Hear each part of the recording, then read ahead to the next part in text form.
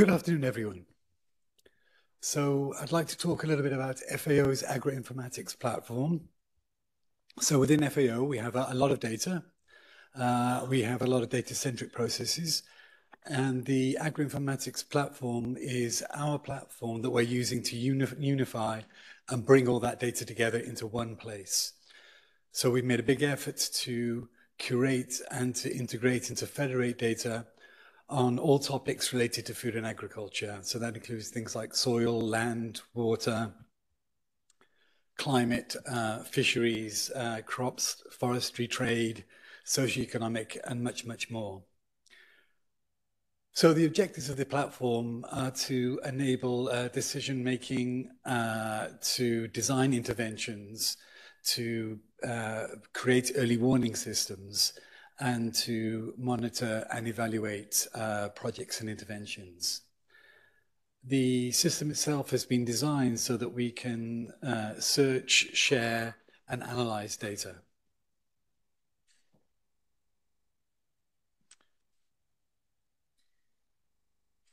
So the platform has got many different functionalities. I'm just going to run through a few of them here so you get an idea of uh, what we were building or why we built it. So uh, it's accessible, accessible through a standard web browser, no special extensions uh, required. It's uh, mobile friendly, so it works also on a mobile device. It's uh, open source and cloud native, so it scales to many, many users. Uh, it supports raster, vector, and tabular data. Uh, it already has over 2 million different data records within it, and they've been federated and contributed by 90 different organizations. Uh, the whole thing is driven uh, with metadata. In particular, we're using the ISO geospatial uh, metadata standard. We are making a big effort to ensure the quality to the interoperability and the harmonization of data. So in particular, uh, we are making sure that the data is actionable. So that means, for example, putting it in a COG format on a cloud bucket with a STAC file next to it so that everybody can use those tools to, uh, to, to, to, to analyze the data. We offer integration with modeling. We're currently working on implementing the European Space Agency's open um, EO uh, initiative, which I would strongly uh, recommend people to go and take a look at, um, and uh, providing online analysis.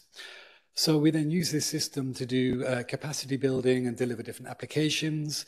That raises from things like um, uh, uh, country and region specific portals, uh, hand-in-hand -hand initiative, uh, global livestock emissions, water accounting, soil mapping, uh, climate risk assessments, ecosystem restoration, several of the topics that we've kind of seen here in the last few days. Uh, and finally, we have uh, some epidemiological related systems on things like avian influenza and Rift Valley fever. So here's an example uh, where we can see the, uh, the power of putting data together. We have the uh, livestock density, the human density, and uh, together with the outbreaks of the Rift Valley fever, which is a disease that's spread by mosquitoes. So I hope gives you that gives you an idea of um, the platform and what we've set out to do. Thank you very much.